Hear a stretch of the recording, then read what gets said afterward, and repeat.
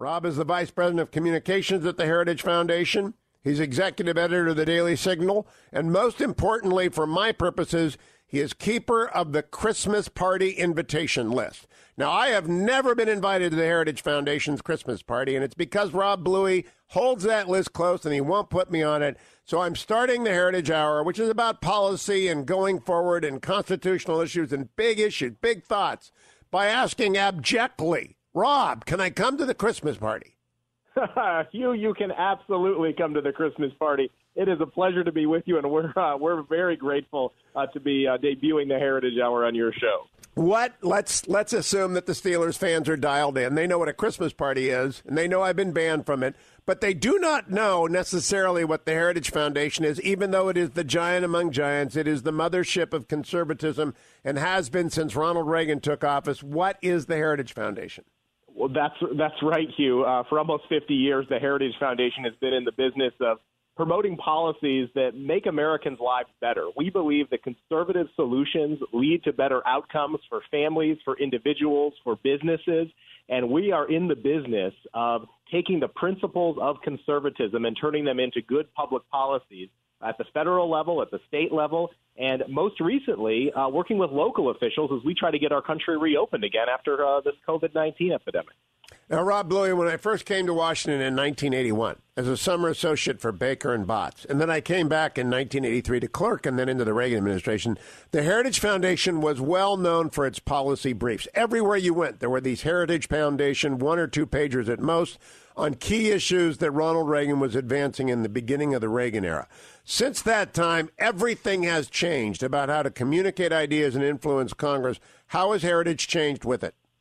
Well, you better believe it. Uh, you know, back in those days, we used to call it the briefcase test, and it was uh, Heritage who came up with this idea that you didn't need a large book to make a policy decision. You needed a timely and relevant research paper, uh, and and oftentimes we get it into the member of Congress's hands as they would be going to Reagan Airport, but we wanted them to finish that brief by the time they got to the airport so they can make their decision. Obviously, today, Hugh, it's very different. I mean, so much is done online and digitally and through tweets and videos.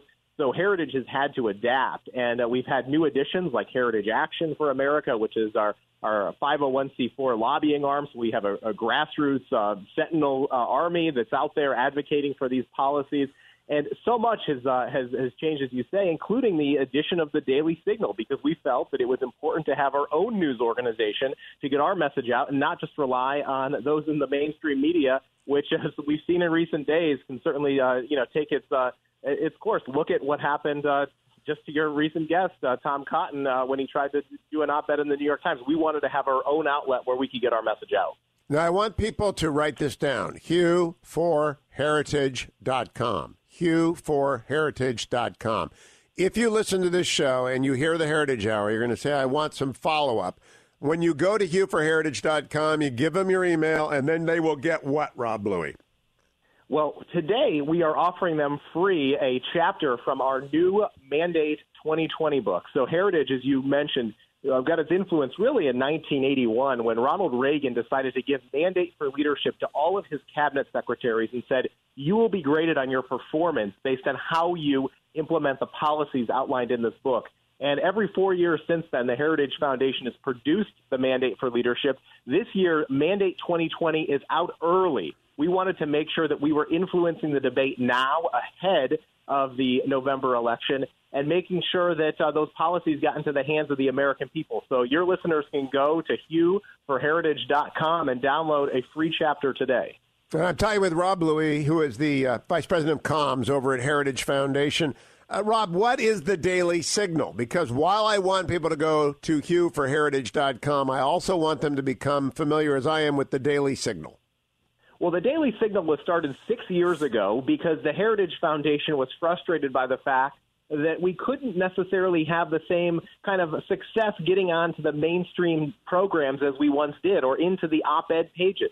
As newspapers changed and started to limit the voices that were out there, particularly among conservatives, we said we need to create our own outlet where Heritage Foundation research experts can produce and write their own op eds Plus, we we added a news team, so we had to create our own news, investigative reporting, documentary videos, uh, coverage of the day's top issues. And so every morning, your listeners can also sign up for the Morning Bell, which delivers to their inbox early in the morning with the day's top news and analysis from Heritage Foundation experts. You can sign up uh, for that as well. Uh, HughForHeritage.com is, is the address, and DailySignal.com is where you can find all the latest news.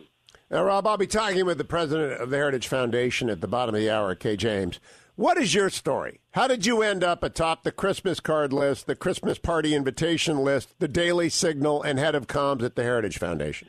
Well, we, we need to take care of that that immediately, Hugh. Uh, you know, I, I grew up in upstate New York uh, as a conservative. Uh, got my start in high school working in journalism, and really aspired to come to Washington D.C. and and do political reporting. My dream was to always work for a place like the Washington Post, but I quickly realized, I think, through my college experience at a very liberal campus, and then once I got involved in the conservative movement and worked at an organization like CNS News and and later Human Events uh, that that's where you could really have the biggest impact and make a difference. And so when I started at the Heritage Foundation, one of my dreams was to do something like the Daily Signal. And so I'm very grateful to have had the opportunity to help create the Daily Signal and now lead the communications team there. And I'll tell you, Hugh, it's uh, it's a changing world, as you know. The media landscape is different every day, it seems, and there's a new challenge that hori- on that horizon. So uh, conservatives need to be paying attention, and we want to make sure that we're delivering the information to them directly. I have probably been giving Rob Bluey a hard time since 2007, but I have to give him credit for this. In 2007, Rob convened, I think it may have been your first convening of bloggers, which is a term of art now that is no longer relevant as it was in 2007, that included the estimable Robert Novak and many others, because you said the Heritage Foundation has to understand new media. And you've never given that up. And do you think that it's caught up at this point with every tool in the trade? Well, you know, those early bloggers briefings came at a time when we definitely recognized that we saw what the left was doing in terms of mobilizing uh, liberal bloggers. And so Heritage wanted to make sure we were providing that information and resource to conservative bloggers. Obviously, that's an area that's changed dramatically uh, over the course of those 13 years. But yes, Hugh, I, I do think that it's always uh, it's always one of those things where we have to stay a step ahead. You're already seeing it in the younger generation. I, I have two elementary school children of my own, and I'm already seeing how they're using uh, technology and to consume information. And, and frankly, in this virtual world of schooling that we're now in, uh, you know, how much more important it is. And so I think for conservatives, as we look to the future, we need to be always making sure that we're communicating with that next generation because you know, as uh, as that old saying goes, you know, that next generation is going to carry forward these principles and ideas into the future. We're seeing it now with some of these protests and the, the activism that young people have. I think we need to be giving them the ideas and the empowerment before opportunists on the other side attempt to co-opt what they're doing and try to advance their political agenda. Know, Rob Bluey, the country is taunting itself to death. It's no longer about persuasion and argument, it's about taunting. The Heritage Foundation has always been an island of repose, a place where you get facts. Whether in the Daily Signal, whether in the HughForHeritage.com sign up, certainly in Mandate 2020, I think what has distinguished the Heritage Foundation is its commitment to research and facts and accessibility. Am I right, wrong, or is it moving? No, you're absolutely right. I mean, we are very much uh, focused on, on the data and the facts, and I think that this recent situation with COVID 19 demonstrates exactly how we've been able to do that. And you can talk to certainly Kay James about this uh, in the interview. She's the chairman of our National Coronavirus Recovery Commission, which was very much an effort in terms of bringing together thought leaders from across the spectrum public health, government, business community and using data and information to make informed decisions. We saw an opportunity, Kay really back in March saw an opportunity to put together a private sector commission that would move much faster than government in terms of delivering the recommendations and solutions.